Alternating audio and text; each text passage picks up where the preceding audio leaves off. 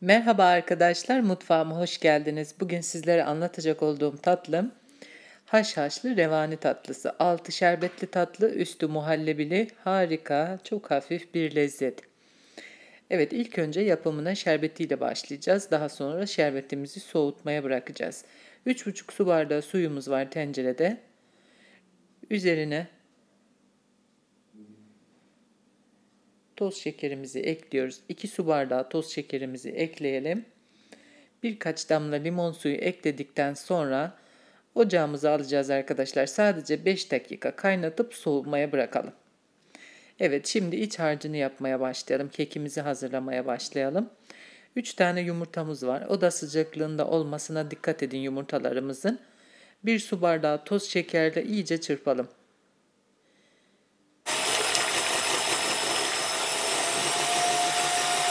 Mikserde güzelce çırpma işlemi bittikten sonra sırasıyla diğer malzemelerini ekleyeceğiz. Yarım su bardağı sıvı yağımız var. Ekleyelim. Tekrar şöyle bir karıştırdıktan sonra diğer malzemelerin hepsini sırayla ekleyeceğiz. 1,5 su bardağı e, sütümüz var arkadaşlar. Sütümüzü ekleyelim. Bu aşamada karıştırmamıza gerek yok. 1 su bardağı irmiğimiz var. 1 su bardağı haşhaşımız var. Sarı renk haşhaş olursa da olur arkadaşlar. Ee, çok fazla bulamıyoruz. O yüzden e, bu şekilde gri haşhaş kullanıyorum. Şöyle bir karıştırdıktan sonra şimdi unumuzu ekleyeceğim.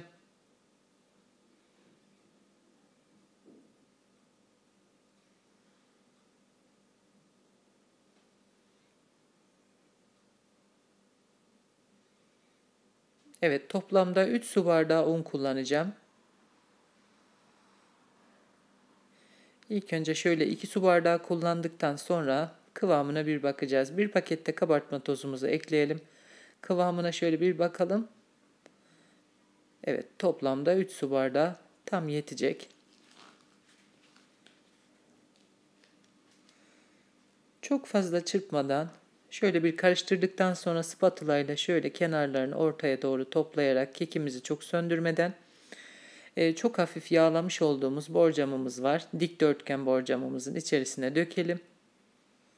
Fırınımız da arkadaşlar bu arada e, 150 derecede ısındı.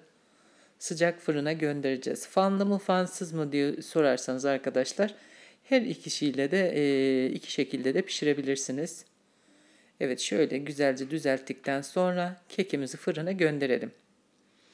Normalde e, e, ke, normal kek kıvamına geldiği zaman kürdan batırarak kontrol edeceğiz. Evet o kekimiz pişene kadar muhallebimizi yapalım. 1 litre sütümüz var. 2 yemek kaşığı nişasta. 3 yemek kaşığı un. Ve yarım su bardağı toz şeker. Evet 1 litre süt. 2 yemek kaşığı nişasta. 3 yemek kaşığı un, yarım su bardağı e, şekerle güzelce muhallebimizi pişirelim. Onu da soğutacağız. Evet gördüğünüz gibi kekimiz de bu arada pişti. Kekimiz piştikten sonra yaklaşık 5 dakika kadar arkadaşlar ilk sıcaklığının gitmesini bekliyorum. Üzerine soğumuş olan şerbetimi hepsini döküyorum. Bol şerbetli kalıyor ama hepsini çekecek arkadaşlar. İçerisinde haşhaş irmik olduğu için. Evet kekimiz iyice şerbetini çektikten sonra muhallebimizin kıvamına bakalım. Muhallebimiz biraz daha sıcak. Onu da soğutalım iyice. Vanilyamızı ekledikten sonra her zaman bir paket vanilyaya muhallebimiz piştikten sonra ekliyoruz. Ee, kokusunu, lezzetini çok daha güzel veriyor. Muhallebimizi tekrar soğuttum arkadaşlar ve bir paket toz krem şanti üzerine ekleyelim ve iyice çırpalım. Krem şanti kullanmak istemezseniz eklemeyebilirsiniz arkadaşlar.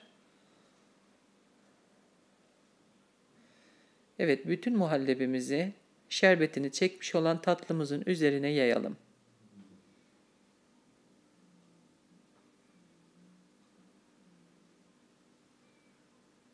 Evet her tarafına eşit gelecek şekilde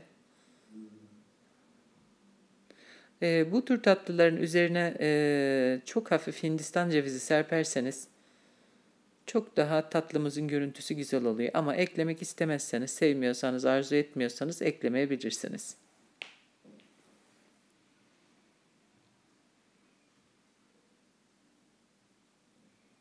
Yaklaşık tatlımız 3-4 saat kadar iyice dinlensin. Hatta ertesi güne kalırsa çok daha lezzetli oluyor onu da söyleyeyim. Ama ben sizlere e, iç kısmını göstermek için keseceğim ve daha sonra geri kalanını iyice dinlendireceğim. Yeşil fıstık, antep fıstığı ve çilekle süsleyeceğim. Ama arzu ettiğiniz şekilde süsleme yapabilirsiniz. Tamamen göz zevkinize kalmış arkadaşlar. Ama oldukça lezzetli bir tatlı. Hem sütlü tatlı hem şerbetli tatlı sevenler için gerçekten çok lezzetli. Yapım aşaması biraz aşamalı gözükse bile çok kolay. Yapımı da zor değil. Hepiniz çok rahatlıkla yapabilirsiniz. Evet çileklerimizi de ekledikten sonra tatlımızın en sevdiğim bölümüne geleceğiz. İç kısmını keseceğiz. Çıkaracağız.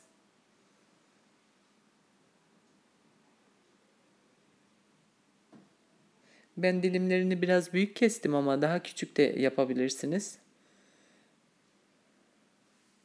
Servis açısından çok daha kolaylık olur sizler için.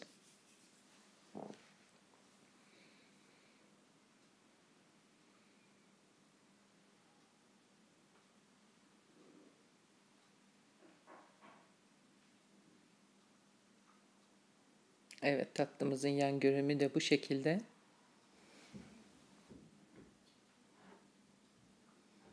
Evet iç görüntüsüne bakalım tatlımızın. Dediğim gibi bir gün durduktan sonra çok daha lezzetli oluyor arkadaşlar tatlımız. Hem e, borcamdan çıkarırken de çok daha düzgün çıkarabilirsiniz.